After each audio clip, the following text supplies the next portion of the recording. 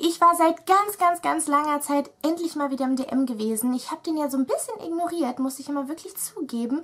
Es fiel mir echt verdammt schwer, aber mein Geldbeutel wollte nicht so, wie ich es gerne wollte. Ich habe ja sehr viel eingekauft, habe ich auch in meinem vorletzten Video erzählt.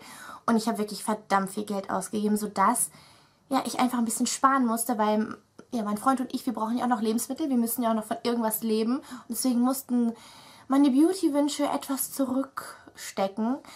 Aber ich habe es geschafft. Ich habe wieder neues Geld.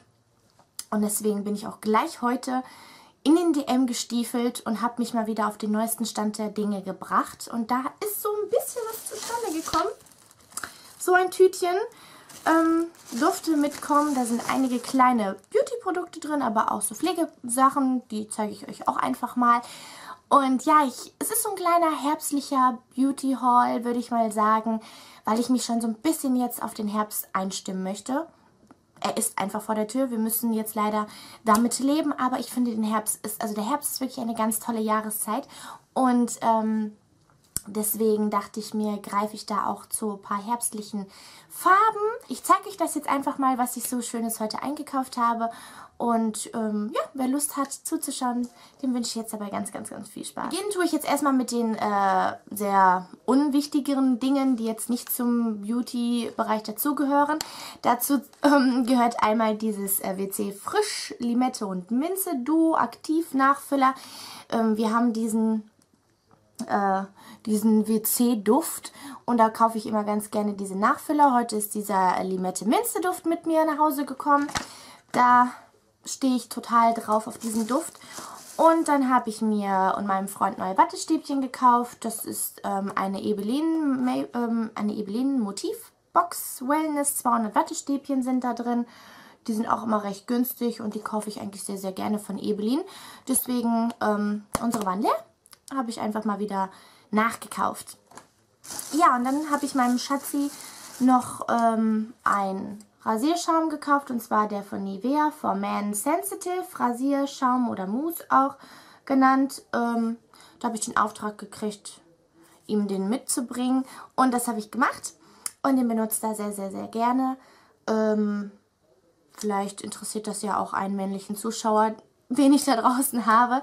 Also der ist wirklich ganz toll, den könnte ich äh, jedem männlichen Zuschauer empfehlen von Nivea. Der ist ganz, ganz toll, sagt mein Freund. Und ja, das waren so die Sachen, die ich ähm, für den Haushalt gekauft habe oder beziehungsweise halt auch für meinen Schatz gekauft habe. Und ähm, jetzt zeige ich euch die Dinge, die ich für mich eingekauft habe. Und zwar habe ich mich jetzt doch nochmal getraut, bei Ebelin ähm, Professional Pinseln, bei den Pinseln zuzugreifen. Das Ding ist, ich hatte euch, glaube ich, schon in, in meinem April-Haul einen Rouge-Pinsel vorgestellt. Vielleicht kann sich der eine oder andere noch dran erinnern. Ich kann euch ja auch dieses äh, Video aus dem April unten in die Infobox reinsetzen. Da könnt ihr euch ja nochmal meine Meinung zu diesem Ebelin-Pinsel anhören und anschauen. Ähm, ja, die haben das so ein bisschen neu aufgepeppt. Also dieser ganze Stand, ich war ja wirklich schon lange nicht mehr da, äh, dieser ganze Stand ist so ein bisschen erfrischender und peppiger ähm, ja, aufgestellt worden. Und ja, deswegen bin ich da einfach nochmal hin und habe einfach nochmal mich so ein bisschen umgeguckt und dann habe ich diesen Lidschatten Concealer Pinsel gesehen. Ich hoffe, das blendet jetzt nicht wegen dem Licht. So sieht er aus. Ich habe ihn allerdings noch nicht ausgepackt. Ähm, ich benutze ihn jetzt nicht als Lidschattenpinsel, sondern ich brauchte noch einen ähm, vernünftigen Concealer-Pinsel und ich hoffe, dass ich damit jetzt nicht wieder ins Fettnäpfchen getreten bin und auch der wieder ein Reinfall ist. Also ich werde mich da mal rantasten und den ausprobieren und dann kann ich ja mal mein Fazit dazu abgeben. Also ich habe den Ebelin-Pinseln jetzt nochmal eine Chance gegeben. Ja, und dann habe ich jetzt auch nochmal bei den Nagellacken zugegriffen. Und zwar habe ich ähm, drei Nagellacke mit nach Hause genommen. Ich bin echt so ein Nagellack-Junkie geworden in den letzten Monaten. Das ist Wahnsinn. Ich überlege, im Januar habe ich noch ein Nagellack-Tag-Video abgedreht. Da habe ich noch erzählt, oh, Nagellacke, interessiert mich nicht. Ja. I'm so sorry. Ich bin ein Nagellack-Junkie geworden. Ja, aber nebensächlich, ich zeige euch jetzt mal die Nagellacke, die ich mit nach Hause genommen habe. Ich zeige euch jetzt mal meine Essence-Nagellacke, die ich mitgenommen habe. Und zwar sind zwei Stück mit mir nach Hause gekommen. Der erste ist der Wildcraft äh, Nagellack aus der ja, Wildcraft LE von Essence. Das ist die Farbe ähm, 01 Tree Hagen. Ähm, ich hoffe, durch dieses blöde Licht, was ich mir hier angemacht habe, sieht das jetzt nicht ganz so hell aus. Verzeiht es mir. Ja, den habe ich mir mitgenommen. Das ist so ein schöner ähm, Haut-Erdton mit so einem Glitzer-Finish drin, so ein Glitzer-Effekt, so ein Silberglitzer.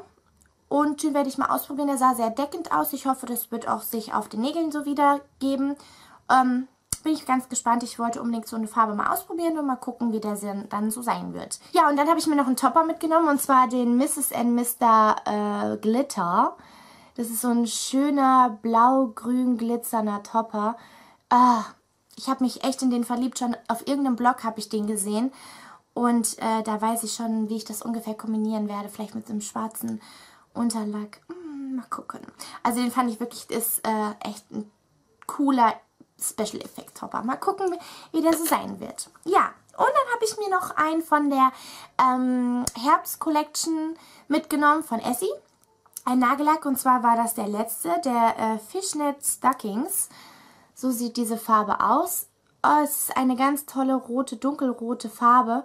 Und ich finde jetzt so für den Herbst ist das auch ein ganz toller Ton und ich hatte Glück, dass ich da diesen noch kriegen konnte und ähm, da freue ich mich schon drauf. Und ich finde halt so beide Töne äh, sind so ein bisschen herbstlicher, so auf eine Art und Weise kräftig und auf der anderen Art und Weise ein bisschen ähm, zurückhaltend, so mit diesen Erdtönen. Ähm, ja, deswegen dachte ich mir, nehme ich mir diese beiden mit und ich freue mich schon darauf, sie auszuprobieren. Ja, und dann habe ich noch bei den Lippenstiften zugegriffen. Und zwar habe ich einmal bei Catrice zugegriffen und einmal bei L'Oreal. Ich zeige euch jetzt erstmal äh, diesen Art Lippenstift von Catrice. Und zwar habe ich diesen ähm, Color Infusion Long Lasting Lip Stain Lippenstift mitgenommen. So sehen die aus. Das ist so ein Stift in der Farbe 020 Rosewood Avenue. Das zeige ich euch jetzt mal. Udu, fail. Seht ihr, ich mache den Deckel und das Pöttchen sitzt oben noch drauf. Ha! Frechheit. Also, so sieht er aus. Das ist so ein Stift. Und ähm, wie ihr sehen könnt, habe ich den hier schon aufgetragen. Und der hält jetzt auch schon eine ganze Weile. Ist ein ganz natürlicher, altroséfarbener Ton. Und das ist ähm, oder das ist ein Lipstain-Lippenstift, den du aufträgst, der halt nicht verwischt. Deswegen auch wirklich aufpassen beim Auftragen. Ich habe schon so ähnliche, deswegen kann ich das halt euch auch erzählen. Ähm, von Catrice so einen noch nicht, aber ich habe ja auch die von Maybelline. Und da ist das halt genauso. Und mal gucken, wie der sein wird. Also es soll versprechen, dass die Farbe nicht abfärbt, dass es kein Verwischen gibt und dass er halt sehr lang anhält. Und dass du den zum Beispiel noch mit einem Gloss aufpeppen kannst und ja, da bin ich mal ganz gespannt. Ich habe mir extra so ein, ähm, ja, so einen natürlicheren Ton genommen, weil ich dieses ähm, Altrosé sehr ganz, also sehr ganz toll finde, genau. Ganz toll finde. Und ich finde jetzt so für den Herbst und für den Alltag ist das auch was ganz Schönes, Natürliches. Und ich hoffe auch, dass der dann lang hält.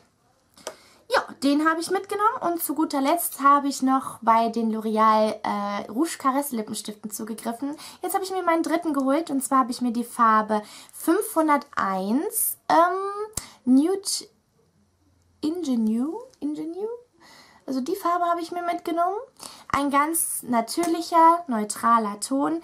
Ähm, ja, der hat mir noch gefehlt. Ich habe ja schon zwei etwas kräftigere Farben ähm, mir gekauft und jetzt dachte ich mir, für den Herbst kaufe ich mir einen Newton und dadurch, dass ich ja von diesen Rouge Caresse Lippenstiften so begeistert war, dachte ich mir, ähm, ich habe zwar einige Newtöne, aber von denen bin ich irgendwie gar nicht mehr so überzeugt. Andere habe ich mir gekauft und die haben gleich schon, ähm, ja, waren gleich schon von Anfang an irgendwie schlecht gewesen. Die habe ich dann auch gar nicht mehr benutzt. Und bei den anderen, die ich halt oft benutzt habe, ja, bin ich irgendwie von der Haltbarkeit nicht mehr so ganz zufrieden. Und dadurch, dass ich von dieser Haltbarkeit der Rouge Caresse Lippenstifte zufrieden bin, dachte ich mir, greife ich einfach mal da bei den Nude Lippenstiften zu.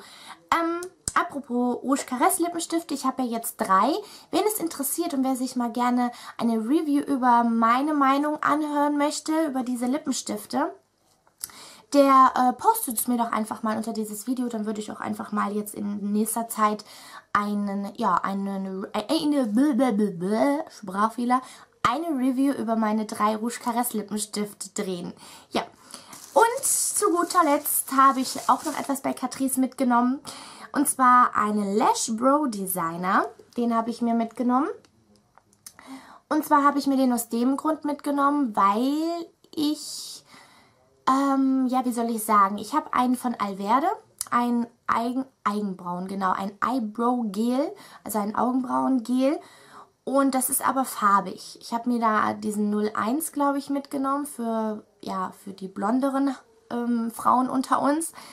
Und den habe ich mitgenommen und ich finde den irgendwie, weiß ich nicht, ich trage aber momentan lieber einen, also vorweg einen Augenbrauenstift auf als dieses Augenbrauengel. Und dadurch, dass ich dann eine Fixierung möchte, will ich nicht unbedingt dieses farbige Gel noch auf den ähm, Augenbrauenstift auftragen, weil das dann zu dunkel wirkt. Und dann dachte ich mir, nehme ich mir jetzt nicht den neutralen von Alverde mit, sondern ich nehme jetzt einfach mal diesen, äh, dieses neutrale Gel von Catrice mit. Und ja, der ist außerdem auch noch für die Wimpern gedacht. Das finde ich nämlich ganz cool an diesem Stift oder an diesem Pinsel hier. Das ist, ähm, seht ihr, das, was hier so absteht, das ist für die Wimpern. Und äh, das hier ist dann für die Augenbrauen. Finde ich ganz cool. Ähm, allerdings habe ich den heute erstmal für die Augenbrauen ausprobiert und ähm, mal gucken, wie lange der dann so halten wird. Also ich habe es jetzt einfach mal noch nachträglich zu meinem Augen-Make-up aufgetragen und ähm, beobachte das jetzt mal eine Weile. Ja, das war's gewesen. Meine Tüte, kleine Tüte ist leer. Das waren meine herbstlichen Produkte, die ich heute eingekauft habe, mich schon mal so ein bisschen einzustimmen oder weiterhin einzustimmen. Und ich denke mal, da werden noch einige herbstliche Farben dazukommen. Aber ich wollte es ja nicht gleich wieder übertreiben und mich erstmal ein bisschen zurückhalten. Und ja, ich hoffe, es hat euch gefallen. Ich werde auf jeden Fall ähm, Spaß dran haben, mal die Sachen auszuprobieren. Den Nude Lippenstift habe ich schon auch äh, aufgetragen heute. Der ist ganz, ganz, ganz, ganz toll. Und ähm, ja, ich hoffe, es hat euch, wie gesagt, gefallen.